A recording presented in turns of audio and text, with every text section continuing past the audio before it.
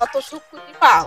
বেশি করে দেও না অল্প করে দিত কিছু না রাত্রেও খাওয়া লাগবে। বগুড়ার ভাষা যেটা কয় তরকারি পুরপুরি আসসালামু আলাইকুম কেমন আছেন আপনারা? আশা করি সকলে ভালো আছেন আমরাও ভালো আছি। আজকে আপনাদের মাঝে আমরা আবার একটি নতুন রেসিপি নিয়ে হাজির হলাম।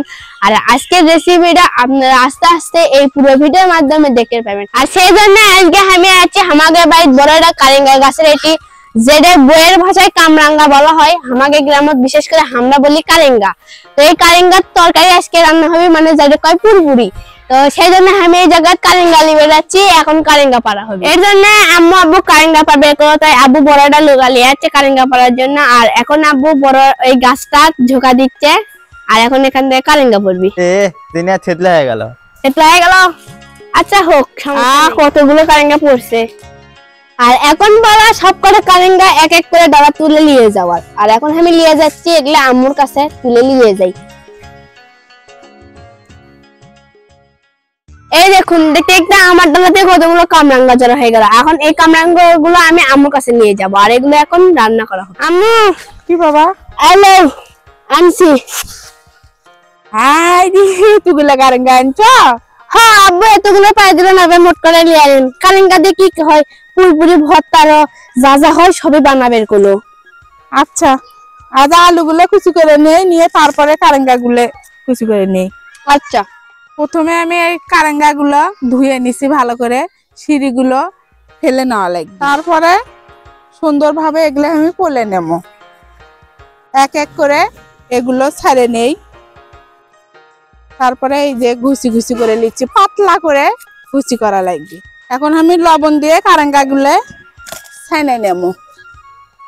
এভাবে এরকম করে ভালো করে এই রসটা যখন বের হয়ে যায়,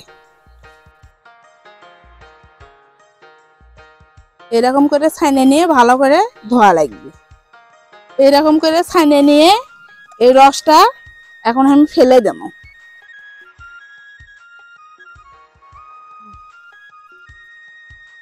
এভাবে এরকম করে চিপে চিপে তোলা লাগবে। প্রথমে এই আলুটা কুচি করে নিয়ে ধুয়ে পাতিলে রাখছি। এখন এই কামরাঙ্গাটা দিব। কামরাঙ্গাটা দিয়ে পরিমাণ মতো কাঁচামরিচ নিয়েছি, পরিমাণ মতো পেঁয়াজ নিছি, পরিমাণ মতো ধনে পাতা নিছি। পরিমাণ মতো লবণ দেব। পরিমাণ মতো হলুদ। তরকারিটা স্বাদ হওয়ার জন্য ছোট মাছ, বালে মাছ নিছি।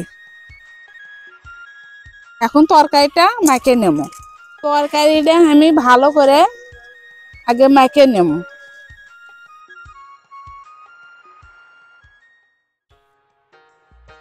আমরা তেলটা কম খাই, ওই জন্য তেলের পরিমাণটা কমই দেই।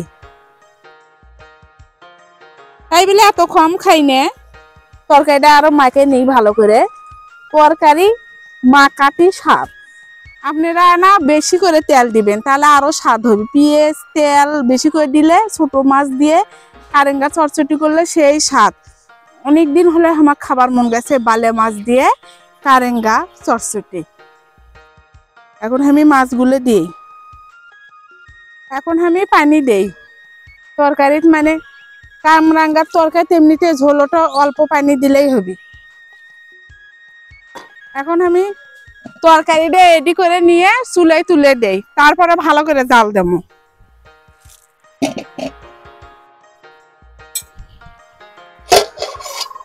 আহ!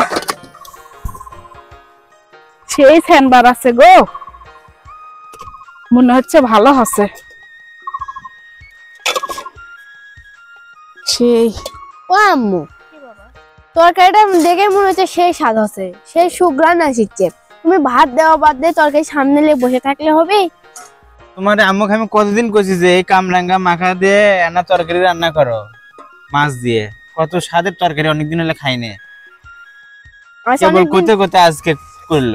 তুমি কত থেকে খাওয়া হচ্ছে? সে কদিন ধরে খালি ক হয় ক হয় আম্মু করেই না। কত সুন্দর মজার তরকারি বুঝছেন সেই টেস্টি এবং খুব খেতে সুস্বাদু। ছোট মাছ দিয়ে রান্না করছে মনে করেন। কমার খাই আগে। কয় না স্বাদের জিনিস বলে অল্পই ভালো। তো আসলে খুব টেস্টি তো এই জন্য অল্প হলেই পেট ভরে ভাত খাওয়া যায় বুঝছেন? তাই না মা? হুম। তো কামরাঙ্গার তরকারি আর মানে পুরপুরিটা কে কে খাচ্ছেন অবশ্যই তা কমেন্ট করে জানাবেন এবং কারেঙ্গা মাখা কে কে খাচ্ছেন তাও জানাবেন।